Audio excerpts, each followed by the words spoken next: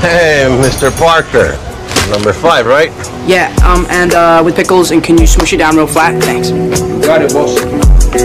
How's your aunt? Yeah, she's alright. Oye, la tía de, de una italiana que está buenísima. Ah, Así. ¿Cómo está tu hija, eh?